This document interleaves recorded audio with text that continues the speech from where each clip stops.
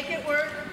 Um, I'm not saying this is the be all end all. I'm just saying in a camp situation like this, where I don't know the girls very well, I don't know what their front layout quality is like. I made everybody do a pike open, just so I can make sure we had enough rotation. I don't want, I didn't want to jar any backs. Um, yeah. So that's how we did. We did pike open, pike open half, pike open full, so on and so pike open. Arms up. Open. Okay. A little more, a little more dynamic. Open. Let me try one more. That was actually a really good front layout. Yeah. Like a pike, so literally pike open.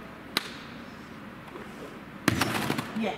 Now when we open, you want to stop about 10 degrees short of starting to arch. Don't let them open up to the arch position. And the, what that does, it just helps facilitate the twist. Okay, can you do it half for me? Pike, open, half. Arms start up and then just ever so slightly down to the side. You don't need to do a lot for a half turn. Arms up. Beautiful. So it's just it was she didn't she doesn't have to get in this deep diver's pike. She just had to go pike open. Okay, just to initiate the turn. It was beautiful. Thank you. Okay, now can you do a front full for me? It's a nice, easy pike front full twist. Beautiful. Okay.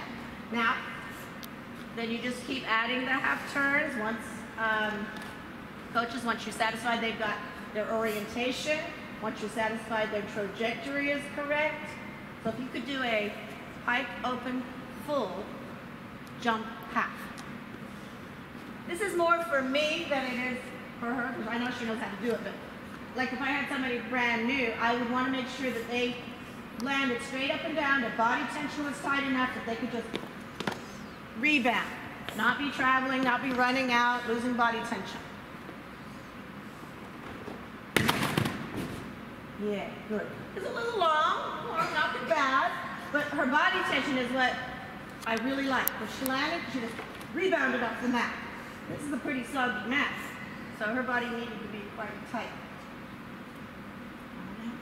Okay, I'm gonna add another half because she's ready. Take it up. Take it up.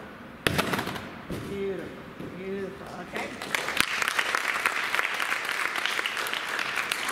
Now, did anybody notice when she landed, what happened?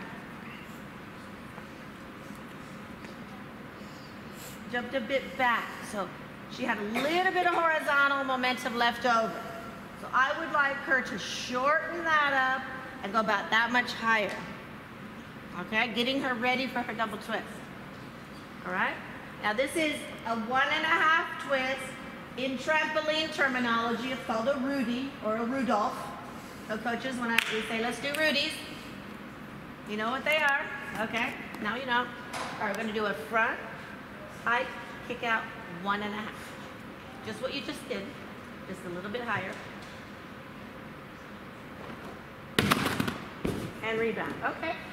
We do have a little bit of backward momentum.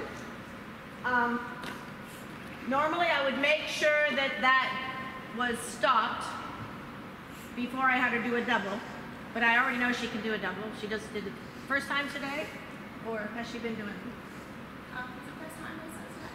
That's just on tramp. Yeah, okay. Well, anyway, she's had some front twisting training. Uh, so I, I trust her to go. If it was a girl who had never done a front double twist before, I wouldn't let them go on coaches until she could do a Rudy, a front one and a half, tight body rebound, like she did on her front full rebound. So I'm pretty much of a stickler for mastering things before you move on, all right? Anyway, we're gonna try a front double because this is the next step. All right, nice and easy. Yeah. And then the next step for her is a rebound half, and that's called a Randolph. Okay, anyway, it's a funny name, but it's trampoline terminology. So she's next, she's gonna master this front double twist, and then she's gonna start adding another half turn, and that's an E element on floor. And she can connect it to things and get all kinds of bonuses for that. So she's gonna, I'm excited for her front twisting combinations that we can add. All right, so thank you very much.